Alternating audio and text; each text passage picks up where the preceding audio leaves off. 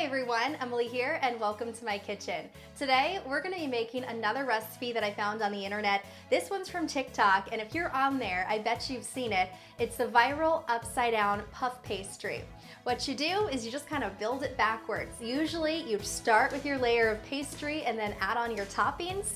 We're going to do the opposite. Put your filling down first, your toppings down first, and then put on that layer of pastry. You pop it in the oven and flip it over once it's done to reveal your toppings. It looks like it comes out amazing every single time, and it also looks super easy. So let's give this a try and see how it turns out.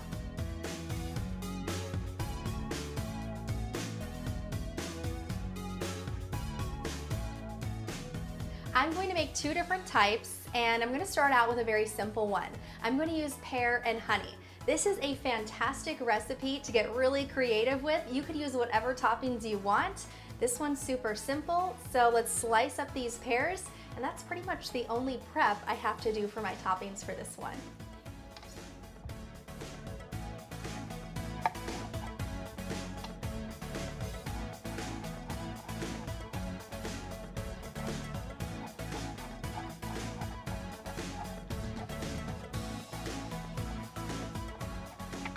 Have my pears all sliced and now I'm ready to start putting everything on the baking sheet. We're going to start with a thin layer of honey where I'm going to place each pastry square. So I'm just doing small dollops of honey where I'm going to place all of my toppings. Make sure to space them out so when you place your pastry squares down, they don't run together when they bake. Now that we have our honey down, just give those a little spread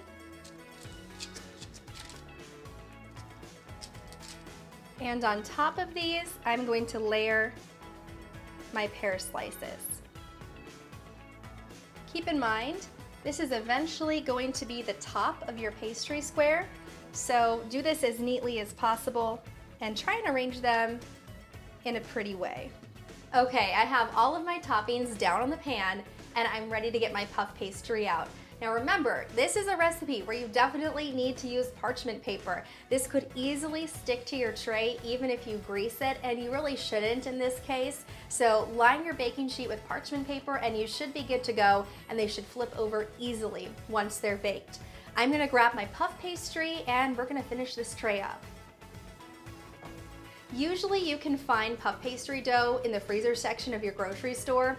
I couldn't find it at mine today, so I grabbed a tube of crescent roll dough. This will work just fine. It's an easy substitute. So let's pop this open and get this topped up and ready for the oven. This always scares me.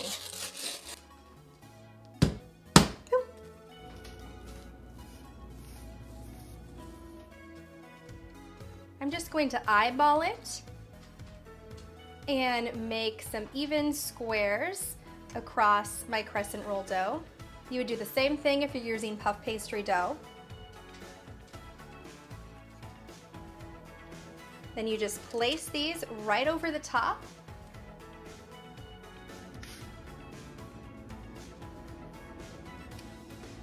We have our pastries all topped with the dough. Now, the next step is an egg wash. This is an optional step. You don't have to do it, but it's just gonna give everything a really nice glossy coating when it comes out of the oven. So I think it's a worthwhile step and it's super easy to do. Just crack one egg into a bowl. I like to thin it out just a little bit with water. And then beat that up with a fork.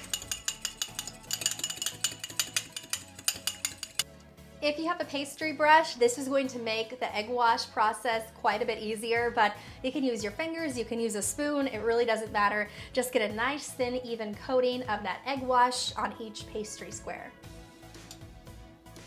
I'm going to use a spoon, just put a little bit on there and use the back of the spoon to spread it out. This works just fine. And we'll repeat the process on each square.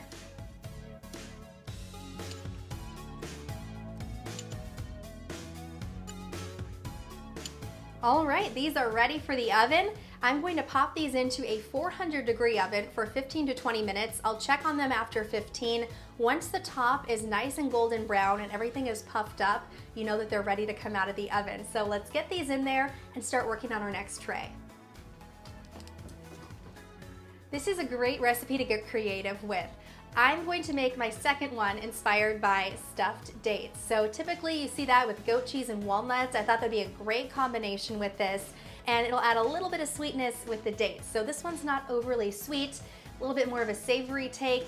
It'd be really fun to maybe do a pizza flavor of this. You can really make this however you want it. So let's get started with this one. I'm going to begin by slicing up a few pitted dates. I'm just going to find the seam where those were pitted and slice right along that and then just kind of spread the date out. I think one date, so two halves per pastry should be just perfect.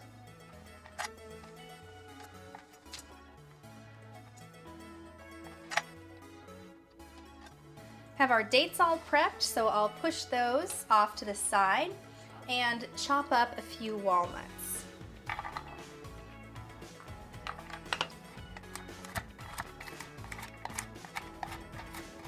Have my ingredients all ready to go, so we're just gonna repeat the process and get these set on the baking sheet.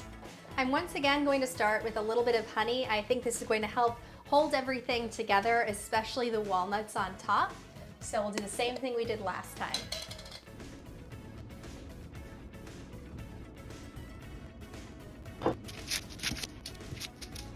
When you're building these, think about the order that they're going to be in when you flip them back over. We want the cheese to be on the bottom, so we're gonna put that on last. Let's start off layering our dates onto the sheet.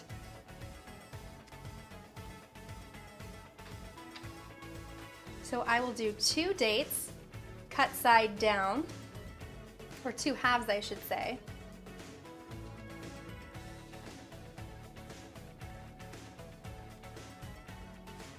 And then I'm going to top each one with a few pieces of chopped walnut.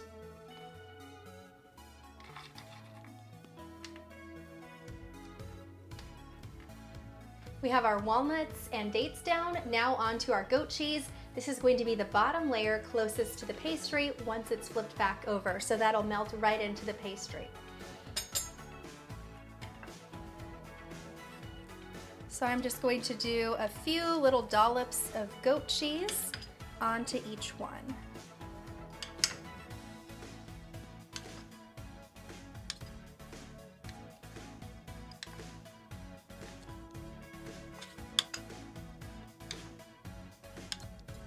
These are already looking so good and I can smell the ones cooking in the oven.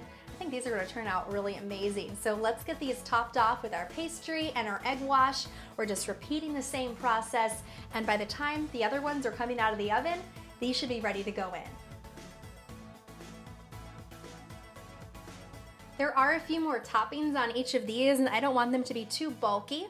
So as I'm placing the puff pastry down or the crescent roll pastry down, I'm just giving each one a light press to kind of flatten out that goat cheese layer and push it into the pastry.